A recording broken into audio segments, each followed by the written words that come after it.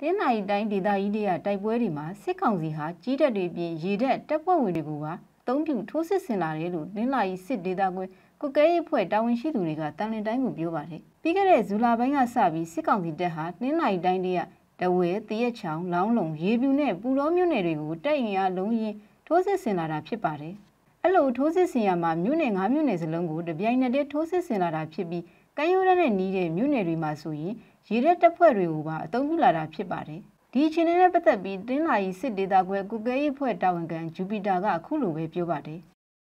အရင်တော့လည်းစစ်ပူတယ်မဟုတ်ပူတယ်ပေါ့ဘူးတော့ပူတယ်ဒါပေမဲ့ဟိုအခုလိုမျိုးတပင်းနဲ့အဲဒီမြို့နယ်လင်းကဟိုတပင်းနဲ့ထိုးစစ်စင်တာမျိုးတွေမတွေ့ရဘူးပေါ့အခုတော့ဟိုဂျီဒါကစစ်ကောင်စီကဂျီဒါကရဲဘော်တွေကိုခေါ်ပြီးတော့ဟိုနဲ့ကိုင်းနဲ့နေတဲ့မြို့နယ်တွေမှာလည်းအဲဒီဂျီဒါကရဲဘော်တွေခေါ်ပြီးတော့ ဟိုစစ်စစ်ချီလာတာစစ်ပလာဟိုစစ်ထွက်လာရှိတယ်ပေါ့ခင်ဗျ